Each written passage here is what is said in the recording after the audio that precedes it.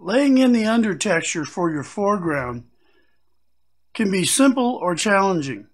I'm going to show you a simple way to get your ground texture in for your flora and fauna and trees and whatever else that you might put in the your foreground.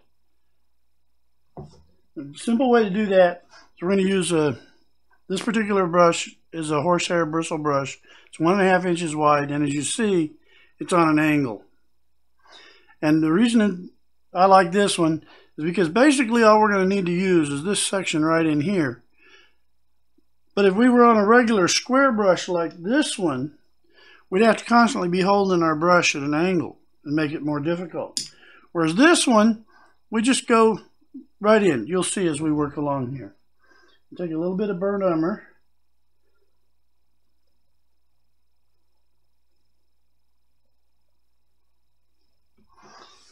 We're going to start over here. I'm just going to work in some, and you'll have to go back several times. Now I've added just a little bit of paint thinner to this so that it's not quite as heavy and so that it dries a little quicker.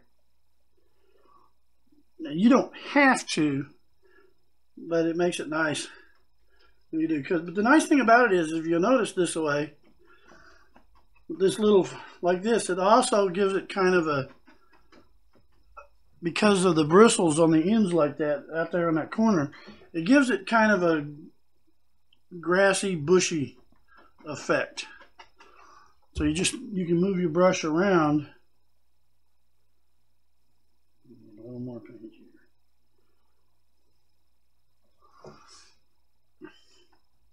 You just lightly tap, but as you see, it brings in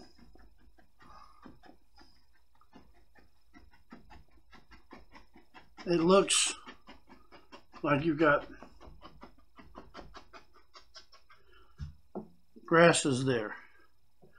And since these are kind of a background, you don't have to be too exact about it.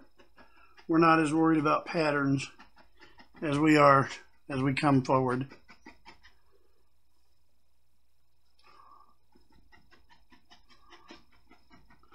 We're just basically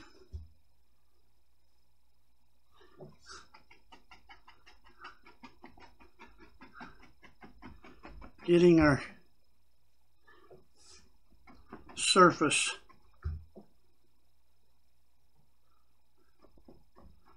To accept the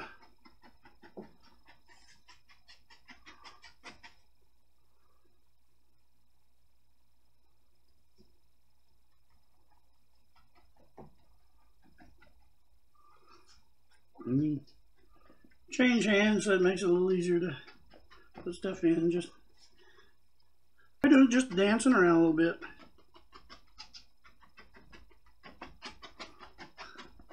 We're going to put other colors over the top of this, so it really doesn't matter. We just want some of these laid in here real quick. Doesn't matter if it's smudged or if it's defined. We're not worried about how much color's in one spot because we'll we can work around that too.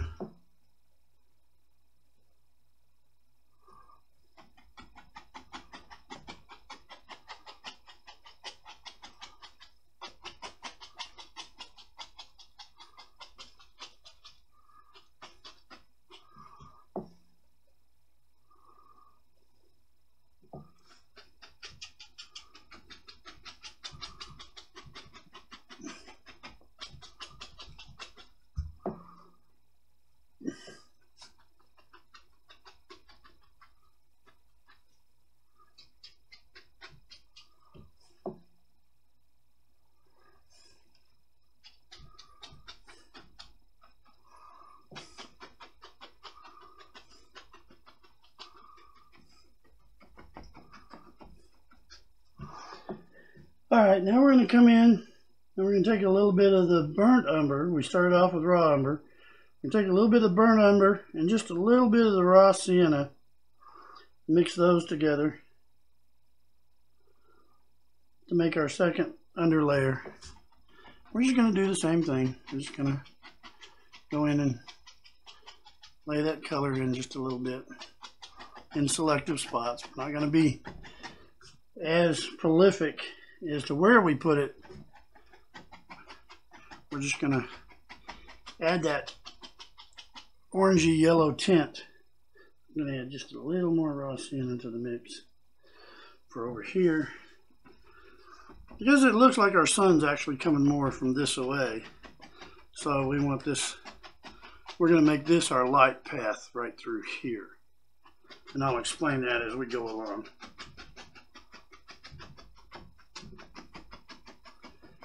We don't have to worry about it too much right up in here because this is kind of the way it looks, the effect. It looks like it's kind of shadowing over a hill a little bit.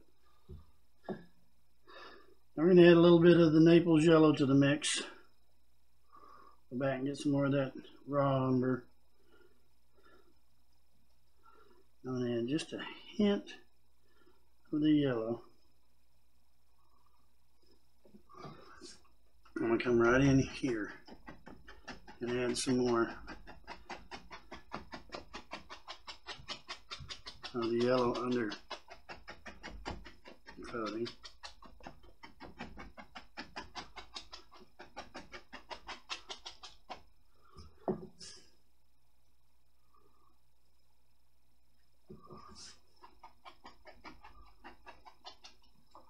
Because I want to give that little bit of that yellow hint of a tint right in through there. a little brighter here in the front.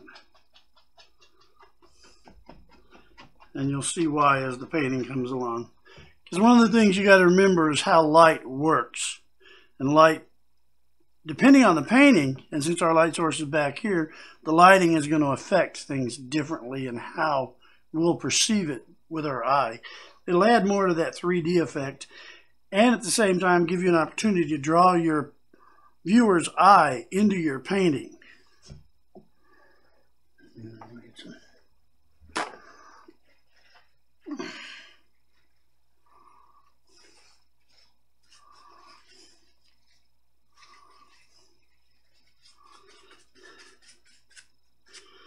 Now I've decided on this painting, over in this area here, I'm going to put some kind of green to represent a heavier, maybe like some type of tree or something. So I haven't decided what bark or whatever I'm going to put on the limbs or anything yet, or what branches. And but I do know that there's going to be heavy greens right in here. So I don't need to worry about this one on what I'm doing next. And what I'm doing next, I don't need to clean my brush very good for. I just need to get most of this brown off of it. Okay, so what I've done is I mixed up some green using some of the lemon yellow and some Prussian blue. What we're going to do is get it on the brush and come in here. You notice now I'm a little more selective on where and how I put my greenery. I'm being more deliberate in the strokes because I want it kind of dark for the background and you'll see why as we go along again.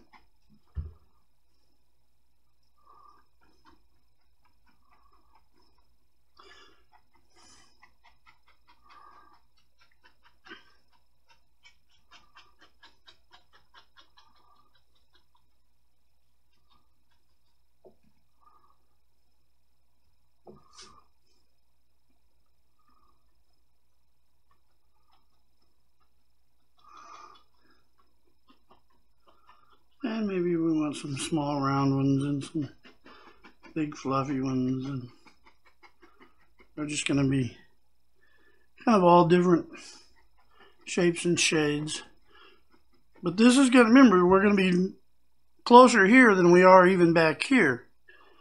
So these aren't going to be, even in the darks, aren't going to be as vivid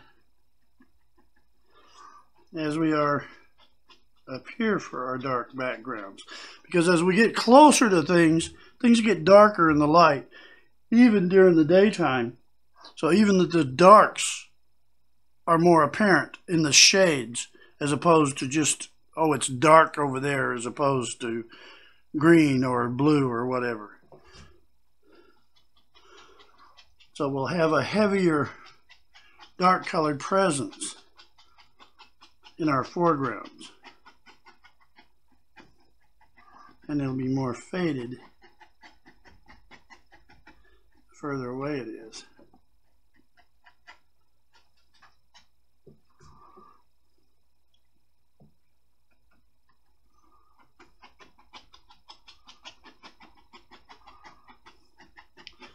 and how dark it is, we can actually determine that this is closer than some of this. And maybe this is a larger area, so it'll be appear darker as a dark non-shape.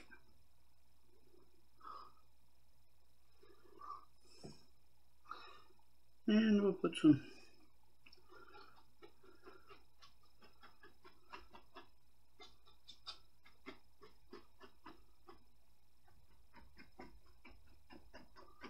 And we don't want to cover up our yellows here. We want to keep those right. Remember we got sunlight showing right through here as well. We're going to take our greens up onto our mesas a little bit. And it's just to insinuate that there's stuff growing on these, which there usually is. It's not really to we're not defining the plant life back this far in our view of field of view. We're just insinuating that there is vegetation. And maybe we'll add just a little along the ridge line here, just to kind of add a little bit of definition and change there. All right. Then we'll get another mix. I'm going to mix a little bit lighter color now of green.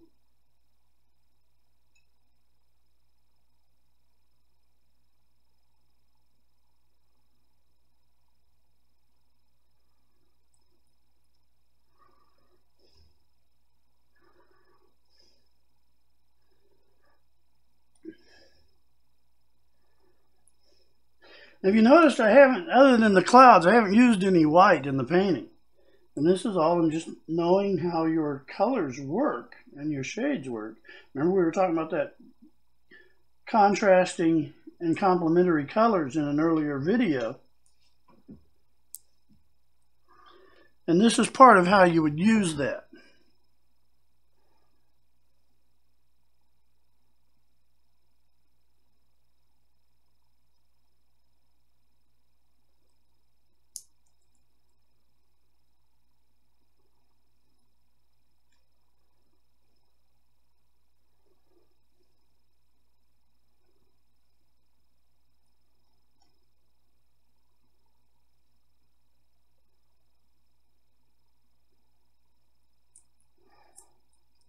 By using those contrasting colors, you can mix.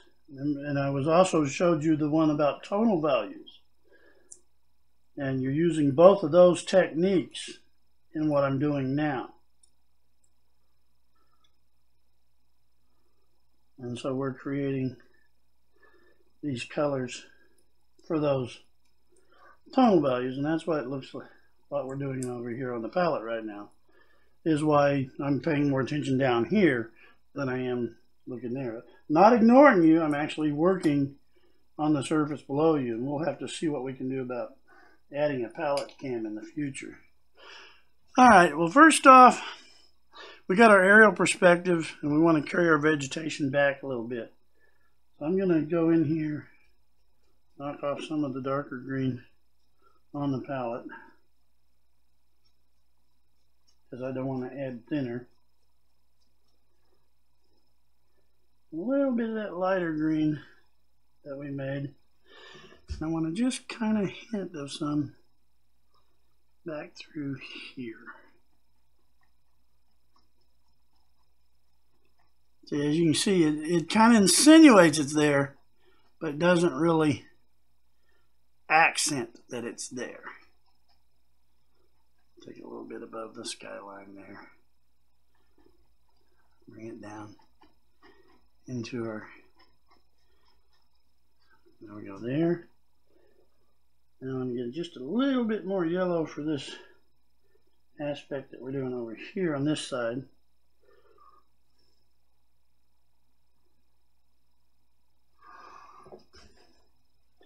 Because over here, we're further away, so we want this to be a little less obvious, but we want it there.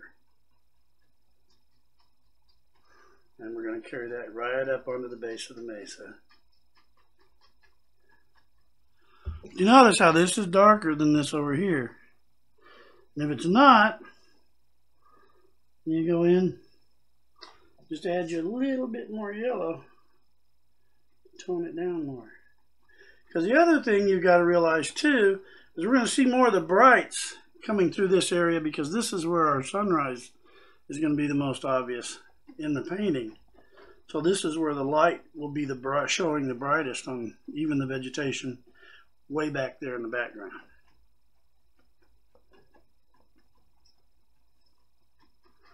And we're just kind of carry that right up along in there.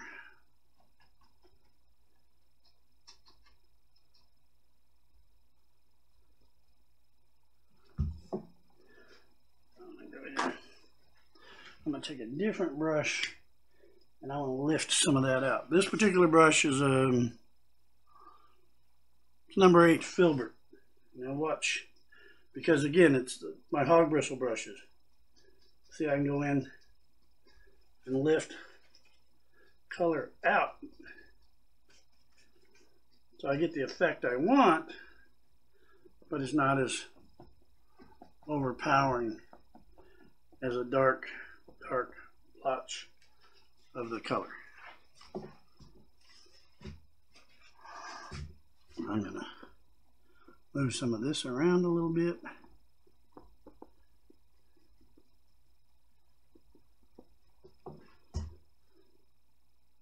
a tiny bit to add to that.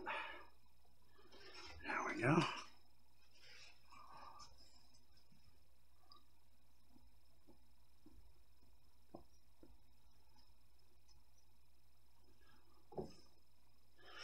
And there we have that.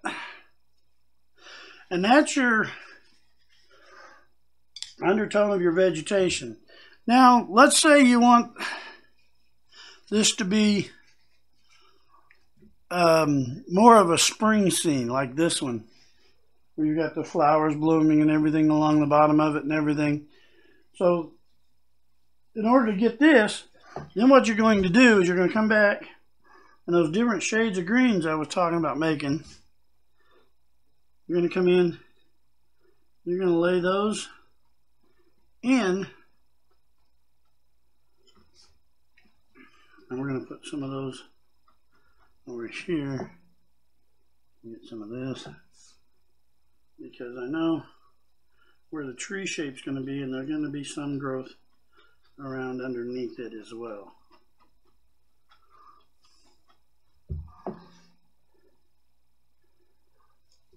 And then for these darker areas, we're going to come in, we're going to add just a little bit brighter green for those areas.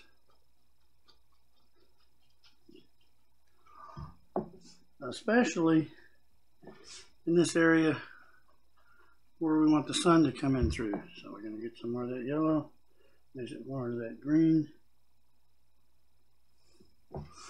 And we'll take that up into here as well. See, it's a more vibrant. And we need a little bit of this dark green right in here. There we got too much. So we go back in and touch that up a little bit.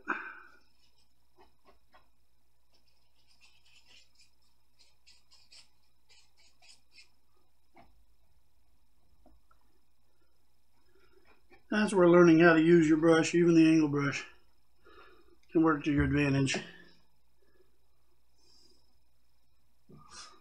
See, see how even the lighter green stands out against that dark green that way.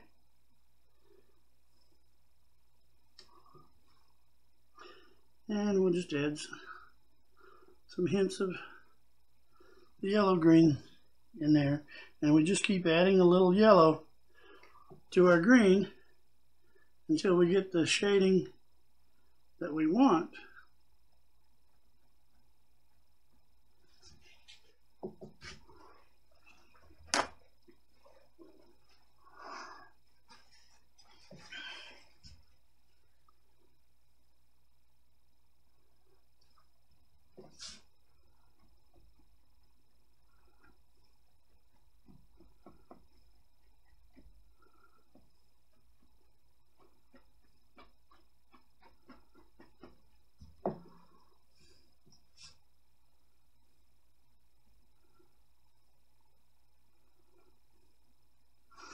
But as you can see, the way I've done this, you can see your dark textures under, and your dark ground texture under your over textures of your shrubbery and such. And for in here, we're going to take a little bit of this green, and we're going to add a little bit of that green. And we're going to add, and see, because this is a different green, maybe there's some like little trees over here.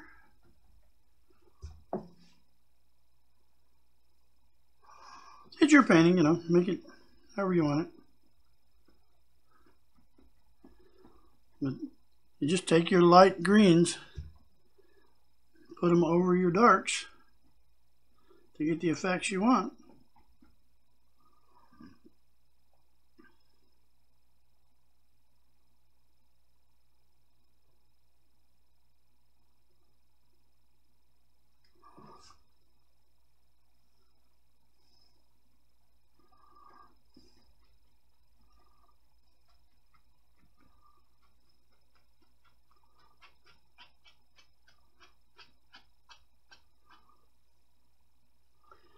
all depends on how you touch it, on what kind of effect it has. And if you're more detailed oriented, then you can go back in and these give you reference points to put your brighter and darker leaves and stuff.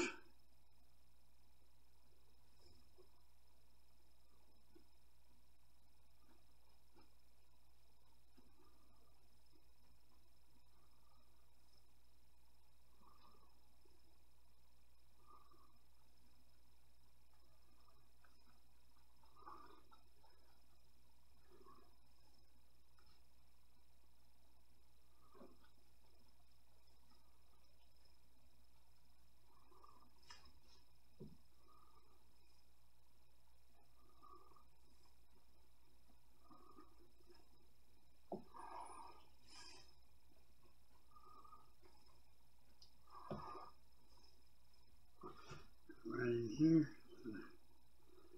Yeah, you use just the very tip bristles, it'll even make it look. See, all I'm in just the yellow with what green's on the brush. And I can go in, just using those brush tips, I can make it look like there's flowers or blossoms on some of this vegetation.